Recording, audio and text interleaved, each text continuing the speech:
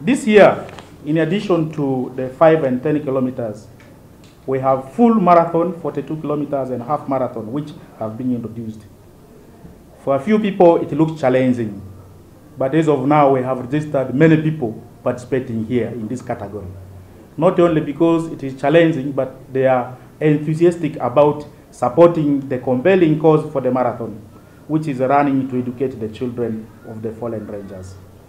When we organize a marathon, over and above people being fit and being entertained, we are actually recognizing the contribution of these gallant sons and daughters who have paid the ultimate price of dying while conserving Uganda's wildlife resources. The marathon starts at 6. We are coming together at 6, uh, having warm up so that at 7, the first group of 42 kilometers is uh, released, and then we go in categories until everybody has been uh, allowed to run.